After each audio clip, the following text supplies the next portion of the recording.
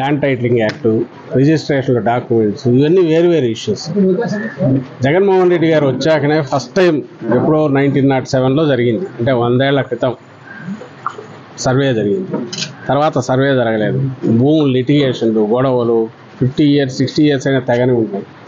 అందుకే ఒకసారి సమగ్ర భూ సర్వే చేయాలనేది ఒక సాహసోపేతమైన చర్య ఆయన తీసుకుంటాం ఇప్పటికి ఐదు ఆరు వేల గ్రామాల దాకా పూర్తి అయినట్లు లిటిగేషన్లు నుండి తెగని ఉంటే పక్కన పెడుతూ మిగిలిన సర్దుకుంటూ పర్ఫెక్ట్ మ్యాపింగ్ చేసుకుంటూ వస్తున్నారు.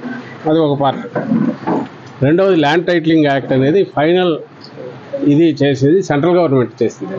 నీతి ఆయోగ్ సజెషన్ అన్ని స్టేట్స్కి వచ్చింది అది కన్నా ఈ సమగ్ర భూ సర్వే జరిగి ఆ తర్వాత దీన్ని ఇంప్లిమెంట్ చేస్తే శాశ్వతంగా భూములకు సంబంధించినవి వారసత్వానికి కానీ మిగిలిన దానికి పరిష్కారం దొరికే అంటే అన్నిటికీ ఒక సొల్యూషన్ అది.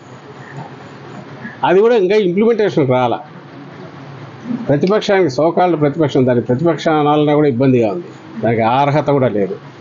ఆయన చంద్రబాబు నాయుడు కానీ ఆయన పార్టీ కానీ ఆయన వంది వందిమాగదులు కానీ ఆయన ముఠా కానీ వాళ్ళు ప్రజలకు చెప్పడానికి ఏమీ లేక లేదా జగన్మోహన్ రెడ్డి గారిలో ఒక లోపం ఎత్తి చూపుదామని నాకు అనిపించక అసలు సంబంధం లేని ఇష్యూ దానికి ఎలాంటి ఒక మంచి స్కీమ్ను మంచి ఆలోచనను అది కూడా ఇంప్లిమెంట్ కూడా కాని దాని గురించి విష ప్రచారం చేస్తున్నారు. ప్రజల తలల్లో విషం ఎక్కించాలని చూస్తున్నారు.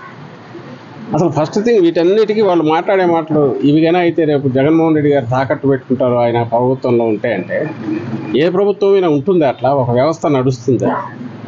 ఎవడన్నా మళ్ళీ వాళ్ళ అధికారంలోకి రావాలనుకున్న వాళ్ళు ఇట్లా ప్రచారం చేస్తారా? పద్నాలుగు పంతొమ్మిది మధ్య చంద్రబాబు నాయుడు గారు ఉన్నారు చీఫ్ మినిస్టర్ ఆయనకు నోరు ఎట్లా వస్తుంది ఇట్లా మాట్లాడడానికి? అంతకుముందు ఉన్న వాళ్ళు ఎవరో ఉంటారు. అంటే ఆయన ఉన్నంతసేపు బాగున్నట్టు ప్రభుత్వం అనేది. ప్రభుత్వంగా ఉంటుంది. జగన్మోహన్ రెడ్డి గారు ఉంటే అది ఇంకో రకంగా ఉంటుందా?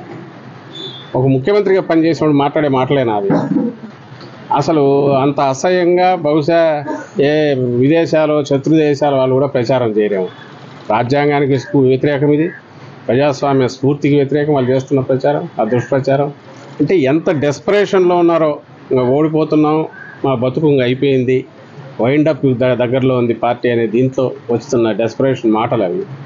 ప్రజలు కూడా వాటిని విశ్వసించట్లేదు. అంటూ రెండవది జగన్మోహన్ రెడ్డి గారు వచ్చాక ఎన్ని లిటిగేషన్లు ఇచ్చేశారు అసైన్ ల్యాండ్స్ అన్ని ఫ్రీ చేశారు చుక్కల భూములు ఫ్రీ చేశారు. ఆయన ఇచ్చాడు. నీకుంది అలాంటి ఆలోచన చంద్రబాబు నాయుడుకు. జనం భూములు లాక్కపోవడము రాజధాని పేరుతో ల్యాండ్ పూలింగ్ అని చెప్పి అందరినీ మోసం చేయడము రియల్ ఎస్టేట్ వ్యాపారం చేయడము. ఇది చంద్రబాబు నాయుడుకున్న అలవాటు. జగన్మోహన్ రెడ్డి గారికి రైట్స్ హక్కులు కల్పించడం ఈయన ఫస్ట్ టైం అలవాటు చేశాడు. ప్రజలకు హక్కులు కల్పించడం వాళ్ళ ల్యాండ్ మీద వాళ్ళకి హక్కులు కల్పించడం ఏం చేశాడు?